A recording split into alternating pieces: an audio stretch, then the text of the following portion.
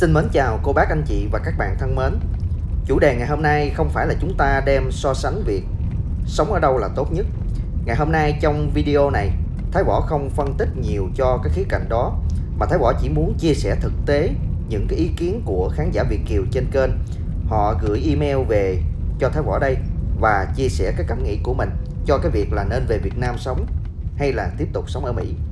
Còn cái việc đánh giá lý luận và đưa ra những cái quan điểm cá nhân thì có lẽ là cô bác anh chị mình sẽ là người sâu sắc nhất để mà có thể nhận định cho cái chuyện này. Và thưa quý vị, email từ vị khán giả có nickname là anh Tống đã bày tỏ cái suy nghĩ của mình như sau. Tôi năm nay 35 tuổi, lúc qua Mỹ chỉ mới 7 tuổi. Cuộc sống và công việc làm rất tốt. Thu nhập của hai vợ chồng một năm hơn 200.000 đô la từ kinh doanh tiệm nail. Và ngoài ra thì hai vợ chồng cũng có một cái công việc khác đó là một cái công việc kinh doanh, thu nhập thụ động. Một năm qua thì cũng hơn 50.000 đô la nữa. Nói chung là cuộc sống ở Mỹ rất tốt. Nhưng mà năm 2018 lần đầu tiên tôi về Việt Nam thăm quê hương cùng với hai đứa con, thì cảm thấy hai đứa con rất là thích. Đặc biệt là hai đứa nhỏ con tôi. Tụi nó thấy tụi nó vui chơi, rất là vui. Thấy tụi nó chơi những cái hoạt động vui chơi giải trí tại Việt Nam. Chứ không như ở Mỹ, lúc nào cũng chỉ cắm đầu vào cái iPad và chúng tôi cũng cứ vậy mà năm 2019, năm 2022 và sắp tới là mùa hè năm 2023. Mỗi lần mà nghe tới hè là hai con của tôi rất là háo hức được về Việt Nam du lịch. Tôi có tham khảo ý kiến của gia đình mình về việc là nếu như mà gia đình mình quay trở về Việt Nam, về Việt Nam sống và học tập tại đó thì gia đình sẽ cảm thấy như thế nào? Lúc này thì tuổi nhỏ con của tôi không cần suy nghĩ mà trả lời ngay luôn.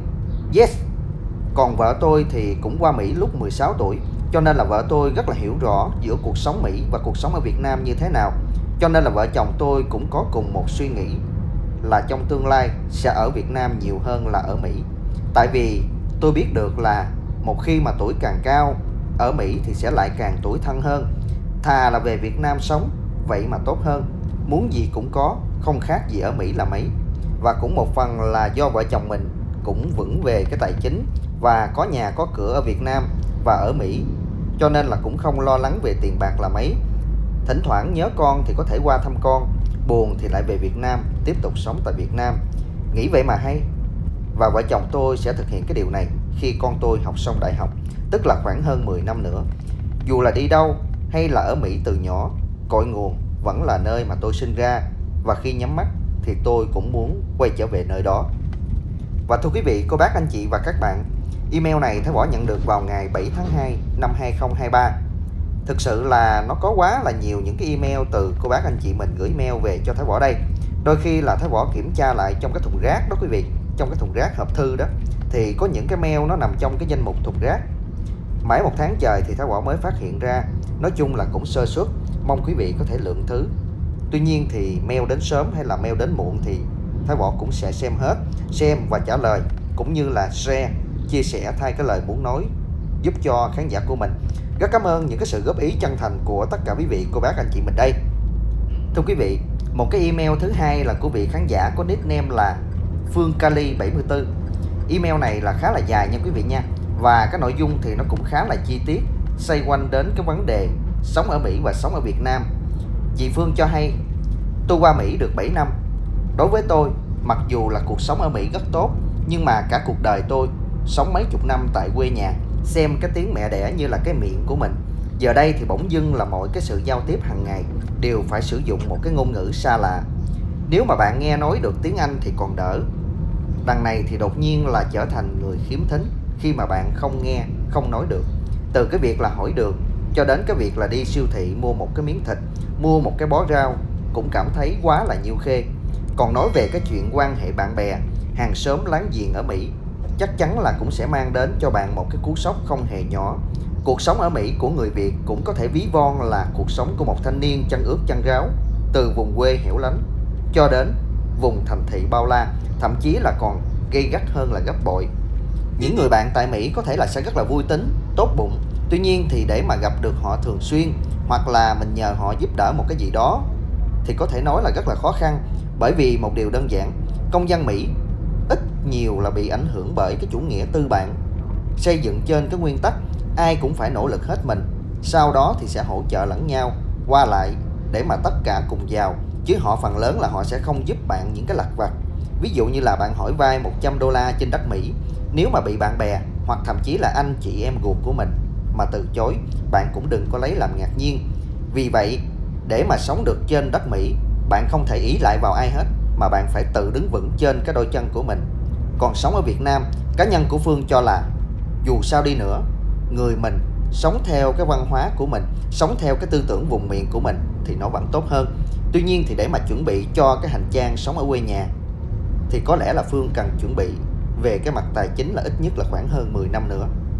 Thưa quý vị, đó là cái ý kiến của chị Phương Kali mà Thái Bỏ đã tóm gọn cho cô bác anh chị mình nghe bên cạnh đó thì một cái ý kiến này thì mới là một cái điều mà chúng ta cần phải đưa ra nhiều cái sự nhìn nhận sâu sắc hơn đây là một cái email của vị khán giả có nickname là kẻ sống tha hương.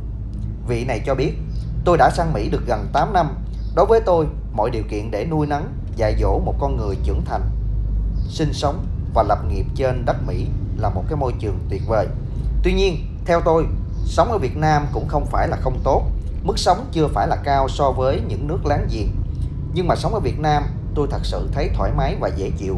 Trong công việc thì tôi luôn được những người bạn của mình ở Việt Nam quan tâm nhiệt tình hợp tác và giúp đỡ tôi. Sài Gòn lại là một cái thành phố dễ sống và dễ chịu. Cuộc sống ở các vùng quê Việt Nam tuy là còn nghèo, nghèo hơn so với những cái thành phố khác nhưng mà cũng rất là dễ sống. Tôi đã chứng kiến cái sự phát triển rất nhanh của Việt Nam. So với hồi tôi mới sang Mỹ, mọi thứ thay đổi rất nhiều. Trước kia thì mọi cái thủ tục rườm rà, đi đến đâu thì chúng tôi cũng phải kê khai thứ này, kê khai cái thứ nọ. Nay thì đã xóa bỏ hết. Lúc trước thì tôi về Việt Nam, từ cái sinh hoạt cho tới nước máy, thuê xe taxi đều gặp khó khăn. Nay thì điện thoại, email thoải mái và nhìn chung là cái giá dịch vụ sinh hoạt thì cũng rất là rẻ. Người trong nước thì cũng ăn mặc rất là sành điệu hơn.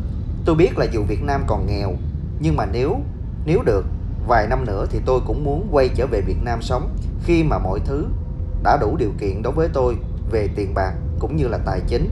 Chính phủ Việt Nam có thể nói là rất là quan tâm đến việc đảm bảo các quyền lợi của người dân cũng như là đảm bảo cái quyền lợi của Việt kiều hồi hương.